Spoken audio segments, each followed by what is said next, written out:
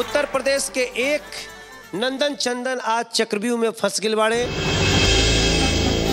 बिहार के भी एक छवि पांडे चक्रव्यूह में फंस गिल बाड़ी एगो कुर्सी इंतज़ार कर रहा बा कि ओह कुर्सी पर के बैठी, के चक्रव्यूह में जाई एक कहा गो उत्तर प्रदेश और बिहार के सुर के वीर एक प्रकार से कहीं तो शहीद हो चुकल बा।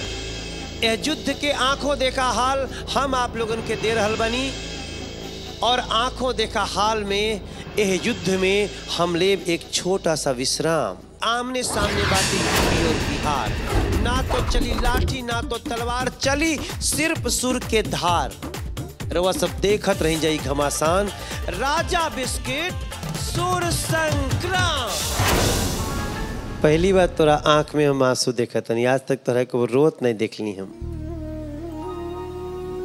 हम एक कंपटीशन में अपना खातिर नहीं रहनी, हम अपना परिवार खातिर आ रहने कि कुछ मतलब बस वही दुख होगा कि मतलब उनको नहीं दे पाएँगे, बस और कुछ नहीं।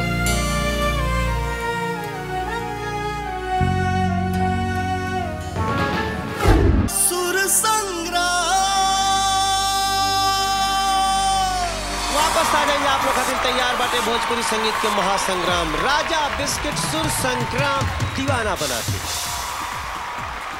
हमने के वो जगह खड़ा हो गए बनी जा? जब ये पता चली कि यह चक्रव्यूह के तीसरी कुर्सी पे बिहार के लड़का जई हैं या यूपी की। हमारे हाथ में जिनका नंबर बाटे, उनका के हम बुलावे से पहले आपके बता दे चाहते नहीं कि आज उत्तर प्रदेश के पलड़ा भारी बाटे। एगो उत्तर प्रदेश के चक्रव्यूह में, एगो बिहार के। लेकिन जहाँ नंबर की बात बाटे तो first highest scorer Mohan Rathore, second highest scorer Alok Pandey. दोनों उत्तर प्रदेश के तीसरा नंबर पे बिहार के एक लड़की संघर्ष कर रहल बिया, रीमा। वो तीसरा नंबर पे बाड़ी। अब हम बुलावे जा रहल बनी सारा बात के ध्यान में रखते हुए गोरखपुर के सुनामी विजेता गोस्वामी। आज तो बहुत जल्दी जल्दी चलता रही तू ना? और का का तैयारी चलता? तोहरा के और अ, मतलब खूब सुंदर बनावे खातिर? बहुत अधिक तैयारी चला था चलता। और हाँ अगले एपिसोड में और झकास देखल जाई। झकास? तो झकास तो तू वही से लागत बड़ू। अगर ये बात कहत बाटे हैं। अ, कह, कहत बाटा तो ओके खातिर धन्यवाद। अच्छा। आप बतावा कि जब पंडित जी तोहरे दादी से जो कुछ कहले ओकर कुछ दादी पर असर भइल बा? हाँ दादी के फ़ोन अइले रहल अच्छा। हाँ और हमार दादी हमसे जो नाराज़ रहली ना हाँ। एकदम अच्छे मूड में हो गई बाटी बहुत खुश हो गई बाटी।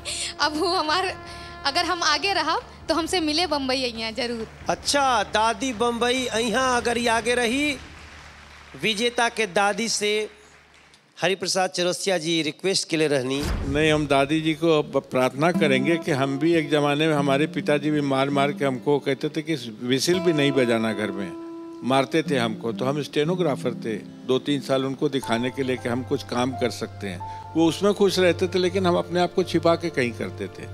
आज अगर अगर उनका आशीर्वाद मिला होता था तो हम तभी से बहुत बड़े हो गए होते थे।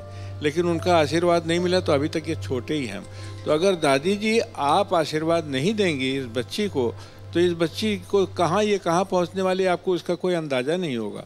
आपके बिना आशीर्वाद के कुछ नहीं होता। तो प्लीज़ कृपा करके मैं प्रार्थना करता हूँ कि आप इस बच्ची को आशीर्वाद और दादी के कर असर हो गया दादी, तोहरा के धन्यवाद।